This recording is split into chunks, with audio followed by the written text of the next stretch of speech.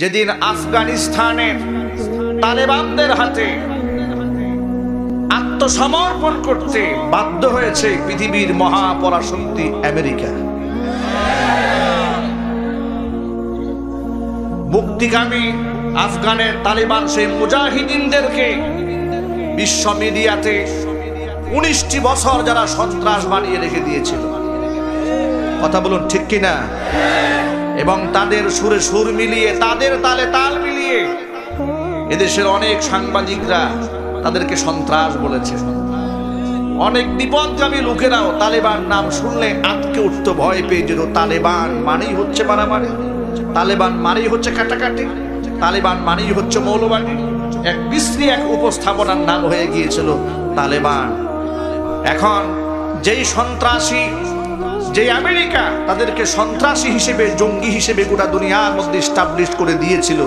আজকে এক বৈঠকে বসে সেই আমেরিকা তাদেরকে শান্তিকামী মুসলমান হিসেবে, মুজাহিদ হিসেবে স্বীকৃতি দিয়ে, নাকে খড় দিয়ে শান্তি চুক্তিনামা করতে বাধ্য হয়েছে।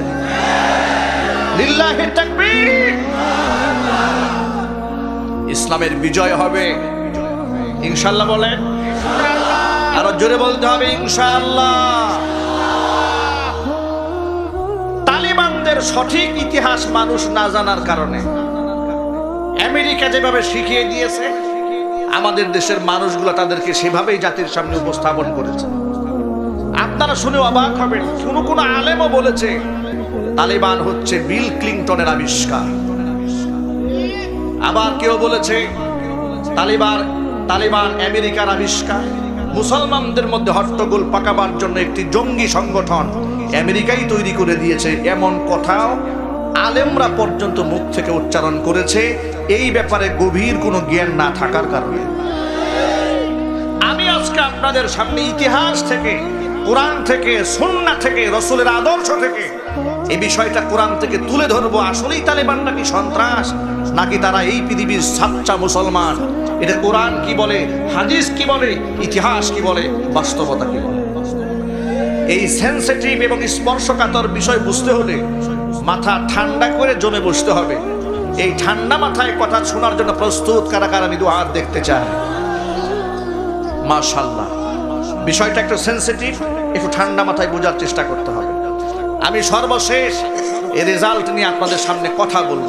এর আগে আমি মহাগ্রন্থ আল কোরআন থেকে আপনাদের সামনে যে আয়াতখানা তিলাবাত করেছি আমার খুদবার ভেতরে, আয়াতটি হচ্ছে সুরাই তাওবা একশত এগারো নম্বর আয়াত।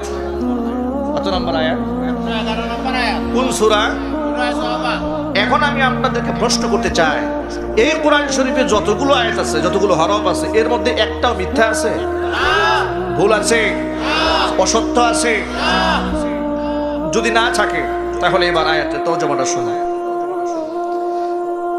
আল্লাহ রাব্বুল আলামিন বলছেন, ইন্নাল্লাহা আশতারা মিনাল মুমিনিনা আনফুসাহুম ওয়া আমওয়ালাহুম বিআন্না লাহুমুল জান্নাহ। নিশ্চয় আমি আল্লাহ সুবহানাহু ওয়া তাআলা ইশতারা মিনাল মুমিনিন। মুমিনের কাছ থেকে খরিদ করে নিয়েছি। আমওয়ালাহুম ওয়া আনফুসাহুম। জান এবং মাল। বিআন্না লাহুমুল জান্নাহ। আমি আল্লাহ সুবহানাহু ওয়া তাআলা মুমিনের কাছ থেকে তার জান এবং মাল দুটোই খরিদ করে নিয়েছি জান্নাতের বিনিময়ে। আল্লাহু আকবার! ইমানদারদের জান এবং ইমানদারদের মাল দুটো কে খরিদ করেছেন আল্লাহর নাম বলতে যদি কষ্ট হয়, আর জিজ্ঞেস করব দুটো কে খরিদ করেছে? কিসের বিনিময়ে খরিদ করেছে? জান্নাতের বিনিময়ে খরিদ করেছেন। এটা কোরআন মাজিদের সুরাই তাওবার, একশত এগারো নম্বর আয়াতে আল্লাহ লিখেছেন।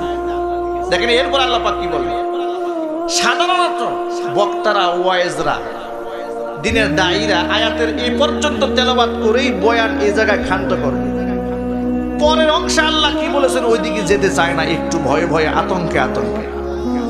কারণ পরবর্তী কথাগুলাই হচ্ছে আমার আজকে আলোচিত বিষয়।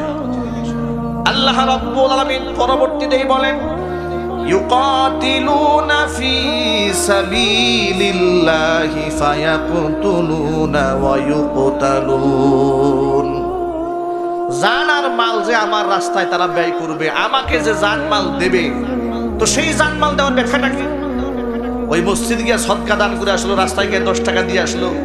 হ্যাঁ এটাও তার মাল, আল্লাহ রাস্তায় খরচ করার মধ্যে সামিল। কিন্তু মৌলিকভাবে আল্লাহ সুবাহান তালা এখানে এভাবে বোঝাননি আল্লাহ পাক বুঝিয়েছেন যে জান এবং মাল, এই দুটো জিনিস বান্দা কোন ময়দানে কীভাবে আমাকে দেবে শোনো। ওই সমস্ত মানুষগুলা ইমামদারেরা আমি আল্লাহর রাস্তায় তারা লড়াই করবে, তারা যুদ্ধ করবে, তারা জিহাদ করবে। জিহাদের ময়দানে তারা নিজেরা শাহাদত বরণ করবে, দিনের স্বার্থে তারা মানুষের জীবন নেবে। শত্রু বাহিনী ক্ষুদাদ্রোহী ইসলাম বিদ্বেষী, যারা আল্লাহ পাকের বিধানকে অস্বীকার করে, রসুলকে গালমন্দ করে, আল্লাহর দিন জমিনে কায়েম হোক, এটা যারা চায় না এদের সাথে ইমানদার বান্দারা লড়বে। আর সেই লড়াইয়ের মধ্যে হয়তো নিজে শহীদ হবে, না হয় গাজী হবে, অন্যথায় ইসলামের দুশ্মনকে সে হত্যা করবে। এই হত্যার কথা শুনলে ইসলামের দুশ্মনরা যতটুকুন না দড়ায় কাফের মুশরিকরা যতটুকুন না ভীত সন্ত্রস্ত হয়, তার থেকে বেশি ভীত সন্ত্রস্ত হয় মুনাফিকেরা। কথা বলুন, ঠিক কি না মুসলমান তো জীবন দেওয়াটাকে গর্বের বিষয় মনে করবে। আর সেই মুসলমান এই কথা শোনা মাত্র। এই তার পালপিটিশন শুরু হয়ে যায় যে হুজুর তো উগ্রবাদের কথা বলছে। ইসলাম যদি আমাকে জীবন দেওয়ার কথা বলে, আপনি কে? আমার জীবন বাঁচাবার?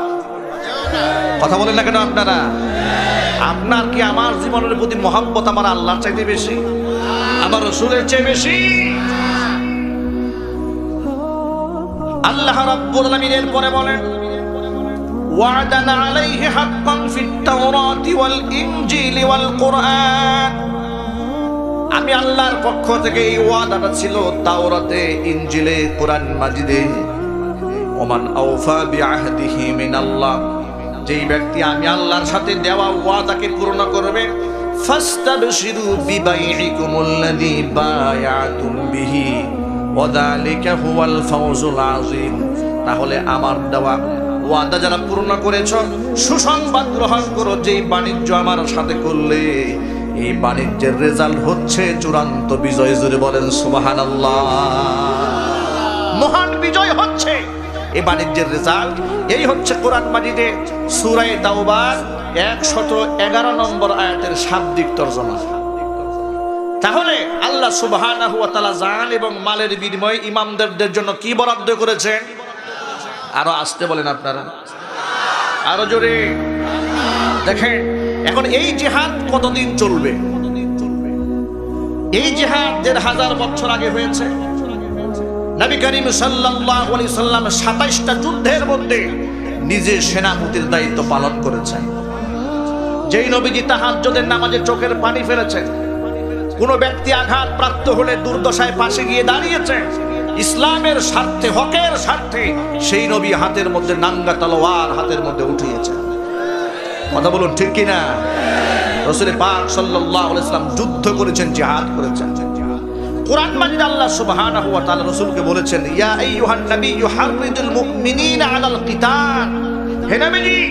আপনি মুমিন যুদ্ধের প্রতি উদ্বুদ্ধ করুন। বলবেন না? জিহাদের প্রতি কে উদ্বুদ্ধ করতে বলেছেন? আল্লাহ তাআলা। এখন জিহাদ যদি সন্ত্রাস হয়, জিহাদ যদি জঙ্গি হয়, জিহাদ যদি মানবতা বিরোধী হয়, তাহলে আল্লাহ তাআলা কি মানবতা বিরোধী কাজ করতে বলেছেন? রসুল কি মানবতার বিপক্ষে কাজ করতে বলেছেন? এবার আসল কথা আছে দেখেন, আল্লাহ রসুল এই ব্যাপারে কি বলেছেন? বিশ্বনবী সাল্লাম একটা হাদিসের মধ্যে বলেন আল জিহাদু ইলা ইয়াউমিল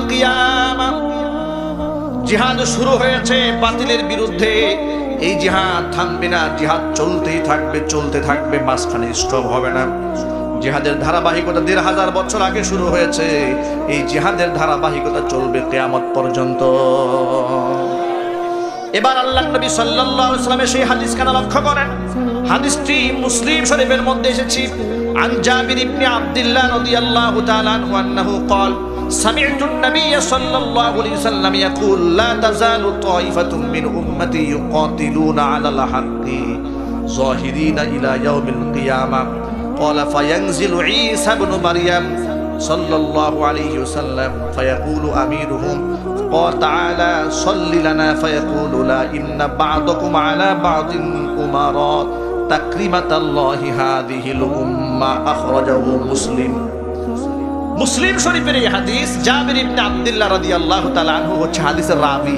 এই হাদিসটা ভালো করে শুনতে হবে। দেখেন আল্লাহ রাসূল কি বলেন? হুজুর পাক সাল্লাল্লাহু আলাইহি সাল্লাম বলেন, লা তাজালু তাইফাতুম মিন উম্মতি ইউকাতিলুনা আলা উম্মতের একটা দল সত্য ন্যায় প্রতিষ্ঠার জন্য লড়াই করতে থাকবে। জাহিরিনা ইলা ইয়াউমিল কিয়ামা, কিয়ামত পর্যন্ত প্রকাশ্যে। আরও আস্তে সুবহানাল্লাহ কোন। রসুল পাকসাম কি বললেন? কিয়ামত পর্যন্ত প্রকাশ্যে আমার উম্মতেরই একটা দল লড়াই করতে থাকবে হকের উপরে।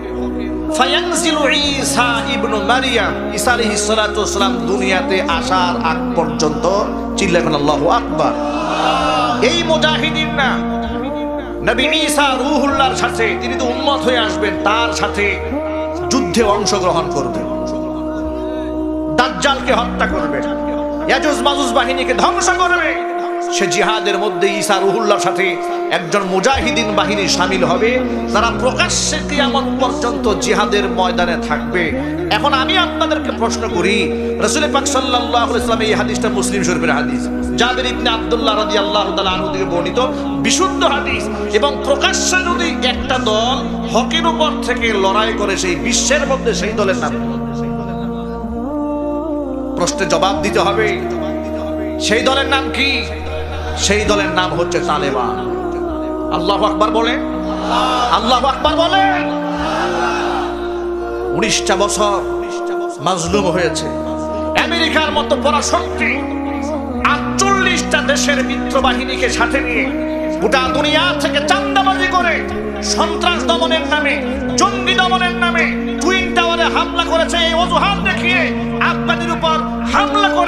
হাজার হাজার, শত শত লাখ মুসলমানদেরকে ঘর বাড়ি ছাড়া করেছে।